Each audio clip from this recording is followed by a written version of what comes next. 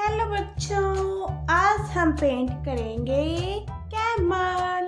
तो देखते हैं इसको पेंट करने में कौन से कौन से कलर यूज़ होंगे। Orange colour yellow colour